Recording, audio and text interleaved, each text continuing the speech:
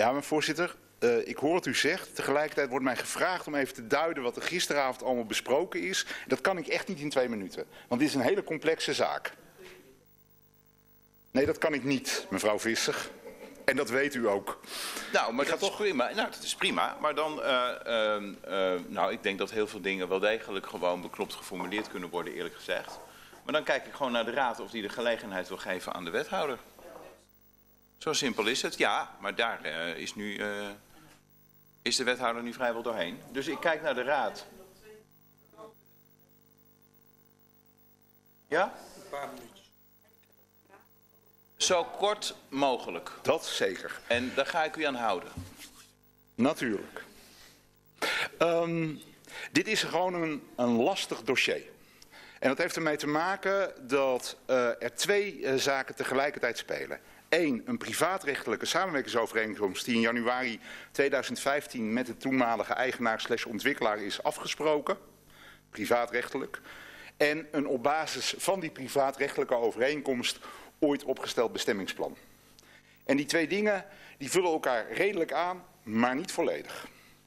En omdat het ene privaatrechtelijk is en het andere bestemmingsplan publieksrechtelijk, betekent het ook dat voor wat in het bestemmingsplan staat de gemeente handhavend kan optreden.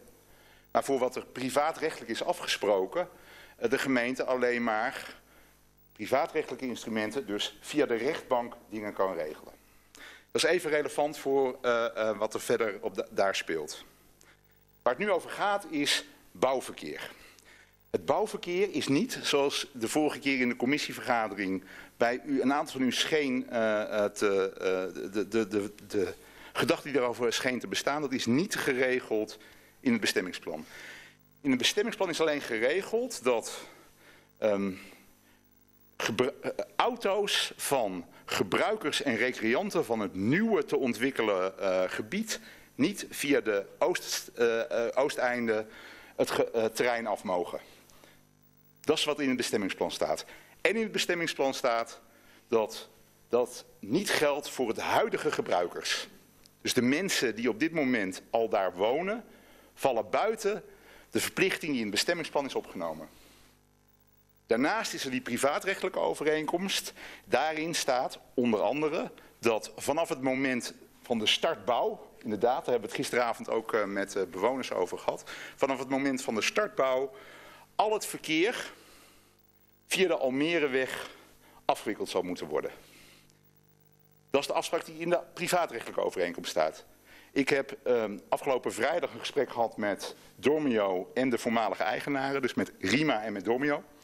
En hen uh, op die reeds bestaande verplichting gewezen en ze hebben mij verzekerd dat ze zich ook aan die verplichting gaan houden. En dat betekent dat ik gisteravond richting bewoners heb aangegeven dat de afspraak is dat uh, uh, met ingang van het start van het heien, en mijn verwachting is dat het volgende week is, uh, de, de uitrit aan, de, aan het oosteinde dichtgezet gaat worden.